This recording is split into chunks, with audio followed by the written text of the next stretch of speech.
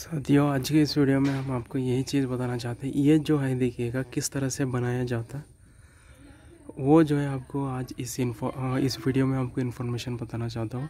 ये बहुत इजी और सरल तरीका है। आप लोग बना सकते हैं बाद में भी और कोई सोचते हैं कि ये नहीं टिकता बोल के, ऐसा नहीं है कि नहीं टिकता बोल के सालों सालों तक चलता है, कुछ कुछ प्रॉब्लम नहीं होता। आप अगर आप घर बना रहे हैं तो ये वाला जो तरीका जो है, आप अपना घर में यूज़ कर सकते हैं। इससे कोई दिक्कत नहीं है। एंड एक रिक्वेस्ट है, अगर आप यार नया है जहाँ पर प्लीज़ सब्सक्राइब कर दो रिक्वेस्ट है आपको।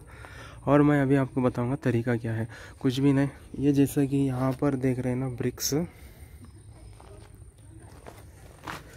ये वाला गुड क्वालिटी वाला ब्रिक्स ये आपको लगभग आठ रुपये तक मिल जाएगा। बहुत अच्छा क्वालिटी वाला ब्रिक्स है ये।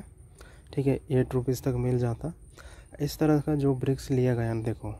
उस तरह का जो ब्रिक्स है एक एक ले, लेके जो है ना, यहाँ पर रखे फ़र्स्ट ऑफ़ ऑल ये सब फ्रेम बनाने से पहले पूरा जो स्क्वायर तरीके का जो फ्रेम बनाते हैं ना, वो बनाने से पहले क्या करते हैं, नीचे जो है रॉड का सपोर्ट देते हैं। जैसे कि यहाँ पर देख रहे हैं ना, ये वाला, वो जो है रॉड का सपोर्ट दिया गया किले की मदद से।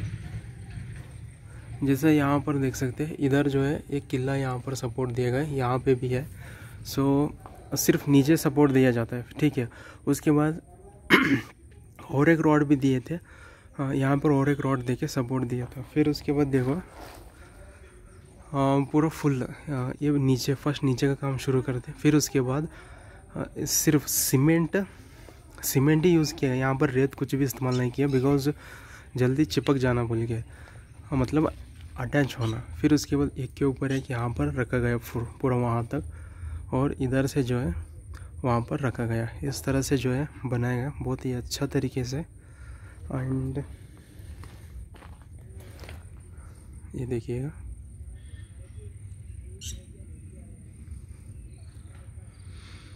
और इसी तरह से वहाँ पर और एक बनाएगा देखो, ये फ्रेम नेक्स्ट प्रोसेस कुछ भी नहीं।